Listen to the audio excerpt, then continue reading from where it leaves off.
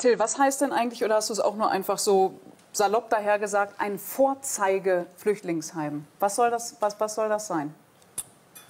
Ein Vorzeige-Flüchtlingsheim ist eins, im Idealfall, das nicht so ist, von dem er eben erzählt hat. Dass wenn man Pech hat, dass man 18 ist, kein Anrecht mehr auf Deutschunterricht hat. Also dass alle Deutschunterricht bekommen. Dass die, das ist doch so, die sitzen den ganzen Tag im Lager, wissen, sie sind nicht willkommen und können nichts machen außer Frühstücken, Mittagessen, Abendessen. Sportmöglichkeiten, kreative mhm. Möglichkeiten, basteln, töpfern. Keine Ahnung, in Hamburg gibt es ein Modelabel, die machen Mode von Flüchtlingen. Also was, zu, was Kreatives zu machen, zu schaffen. Das sind ja Leute, das sind Leute, die sind vom Krieg geflohen. Die waren teilweise Ärzte, Rechtsanwälte, Bauarbeiter, keine Ahnung. Und die sind hier und sitzen da und die müssen beschäftigt werden. By the way, weiß man ja auch, dass uns ganz viele Arbeitskräfte fehlen. Fachkräftemangel, demografischer Wandel, da gibt es aber auch ungefähr ein paar, die sagen, das stimmt alles nicht, aber das ist ein anderes Thema.